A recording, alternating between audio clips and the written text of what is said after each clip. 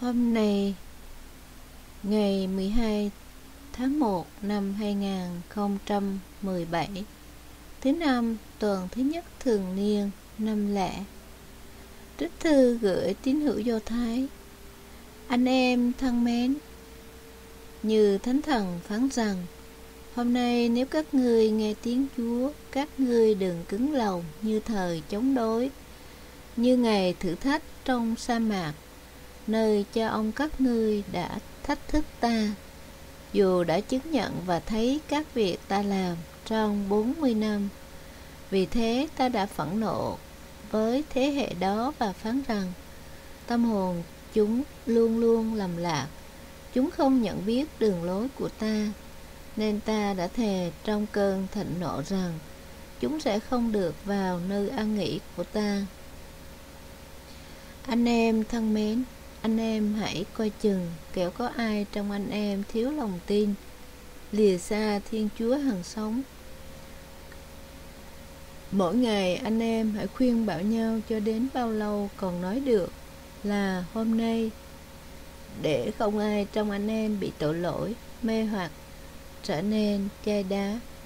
Vì chúng ta được đồng phần cùng Đức Kitô, nếu chúng ta giữ vững lòng tin thở ban đầu cho đến cùng đó là lời Chúa, ta ơn Chúa.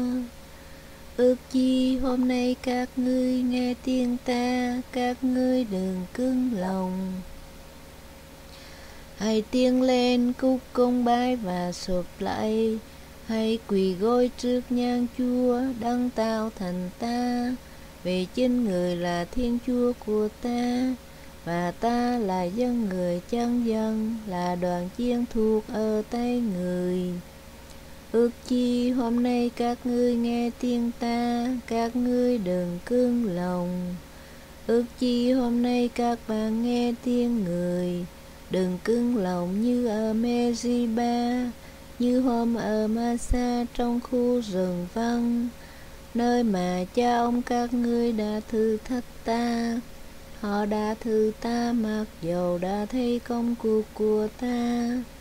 Ước chi hôm nay các ngươi nghe tiếng ta, Các ngươi đừng cưng lòng. Rồng ra bốn chục năm, Dòng giống này thực ta đã ngang. Khiến ta thốt ra, Dân lạc tâm, địa chinh thì bọn này. Mà bọn này không hiểu biết đường lối của ta. Bờ thê ta đa thề trong cơn thịnh nộ Không khi nào chung xe vào chôn nghi an ta. Ước chi hôm nay các ngươi nghe tiếng ta Các ngươi đừng cương lòng. Alleluia, Alleluia. Lạy Chúa xin hãy phan Vì tôi tơ Chúa đang lắng tai nghe. Chúa có lời ban sự sống đời đời. Alleluia. Tin mừng Chúa Giêsu Kitô theo Thánh Marco. Lạy Chúa, vinh danh Chúa. Khi ấy có một người bệnh cùi đến van xin Chúa Giêsu và quỳ xuống thưa người rằng: Nếu Ngài muốn, Ngài có thể khiến tôi nên sạch động lòng thương, Chúa Giêsu giơ tay đặt trên người ấy và nói: "Ta muốn anh hãy khỏi bệnh." Tức thì bệnh cùi biến mất và người ấy được sạch. Nhưng người nghiêm nghị báo anh đi ngay và dặn rằng: "Anh hãy ý tứ đừng nói gì cho ai biết. Một hãy đi trình diện cùng trưởng tế và dân của lễ theo luật Môsê để minh chứng mình đã được khỏi bệnh." Nhưng đi khỏi, người ấy liền cao rao và loan truyền tin đó, nên Chúa Giêsu không thể công khai vào thành nào được. Người dừng lại ở ngoài thành, trong những nơi vắng vẻ và người ta từ khắp nơi tuôn đến cùng người. Đó là lời Chúa, lạy Chúa Kitô người khen Chúa. Sứ điệp, Chúa Giêsu chữa lành những đau khổ của con người nhưng Chúa truyền giữ bí mật về vai trò cứu thế của Chúa. Chúa chỉ muốn sống như người tôi tớ khiêm tốn, âm thầm hy sinh phục vụ để cứu độ. cầu nguyện Lạy Chúa, nếu ngày nay Chúa sống trong thân phận con người giữa chúng con, chắc chắn người ta sẽ đưa Chúa lên báo chí, truyền hình, truyền thanh. Người ta sẽ quảng cáo Chúa khắp ngã đường. Và Chúa lại phải vất vả trốn vào hoang địa. Chúa lại tiếp tục ra chỉ thị cấm tuyên truyền đồn thổi về một vị cứu tinh mới xuất hiện. Lạy Chúa, Chúa thực sự là đấng cứu tinh nhân loại, nhưng Chúa chẳng muốn phô trương tuyên truyền những lời đồn đãi vội vã thường nông cạn và làm cho người ta hiểu lầm về sứ mạng của Chúa. Chính con đôi lúc vì thiếu học hỏi và suy gẫm về Chúa nên cũng hiểu Chúa một cách méo mó, mơ hồ. Xin Chúa giúp con biết khám phá Chúa mỗi ngày. Xin giúp con chuyên chăm học hỏi và suy gẫm lời Chúa để có được một niềm tin xác thực và chắc chắn Xin đừng để con theo Chúa chỉ về những ước mơ trần tục, để rồi có lúc phải thất vọng vì ảo tưởng. Lạy Chúa, Chúa chỉ muốn sống như người tôi tớ âm thầm, khiêm tốn, hy sinh, phục vụ. Xin cho con biết nhìn vào cuộc đời, quên mình và cái chết của Chúa trên thánh giá để nhận ra tình thương và ơn cứu độ của Chúa và xin Chúa cho mọi người chúng con biết đem tin mừng đến cho người khác không phải sự tuyên truyền quảng cáo nhưng bằng một cuộc đời hy sinh phục vụ trong khiêm tốn và âm thầm như Chúa. Amen. Trích cầu nguyện với Chúa mỗi ngày. Tiên vàng, hãy tìm kiếm nước Chúa. Năm 1923 Tám nhà kinh doanh thành công nhất của Hoa Kỳ đã gặp gỡ nhau trong một khách sạn tại miền Viễn Tây. Họ trao đổi với nhau những kinh nghiệm về kinh doanh và hình như muốn khẳng định câu châm ngôn thường tình của con người ở khắp mọi nơi là, có tiền, mua tiền cũng được. Thế nhưng 25 năm sau, những gì đã xảy đến cho 8 nhà kinh doanh giàu có này?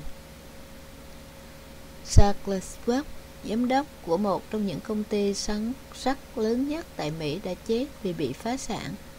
Trong năm cuối cùng, ông đã sống nhờ vào đồng tiền vay mượn của người khác. Samuel Insun, giám đốc của một công ty chuyên sản xuất các vật dụng cần thiết trong nhà, phải bỏ nước ra đi và chết tha phương không một đồng xu dính túi.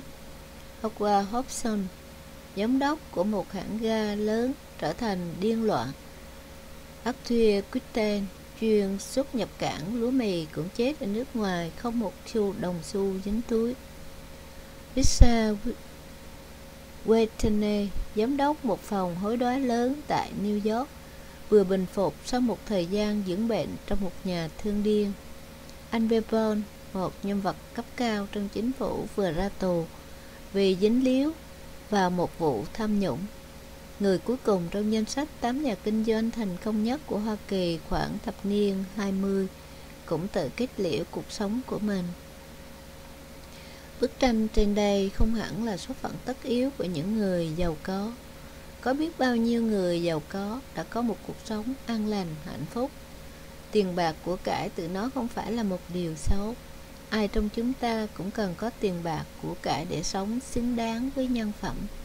Sự túng thiếu bằng cùng là một sự dữ mà Thiên Chúa không bao giờ muốn cho con cái Ngài phải lâm vào. Tuy nhiên, tiền bạc của cải vẫn luôn là con dao hai lưỡi. Nếu được sử dụng như một phương tiện, tiền bạc sẽ giúp cho con người sống xứng đáng với phẩm giá của mình hơn. Nếu trái lại, con người chạy theo tiền của như một cứu cánh trong đời, nghĩa là con người có thể tôn thờ nó như thần tượng để quên đi tất cả những giá trị khác trong cuộc sống.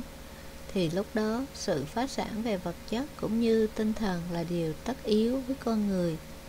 Khi kể lại dụ ngôn của người quản lý biết dùng tiền của để mua chuộc bạn bè Chúa Giêsu muốn kéo chúng ta trở lại với chân lý nền tảng trong cuộc sống. Hãy chuẩn bị cho cuộc sống may hậu. Hãy đầu tư tất cả cho cuộc sống vĩnh cửu. Hãy hướng tất cả mọi sự vào cùng đích của cuộc sống. Hãy dùng tiền bạc. Hãy cư xử thế nào để luôn có những người bạn luôn chờ đón chờ đón ta trước cổng thiên đàng? Bài trích sách lẽ sống.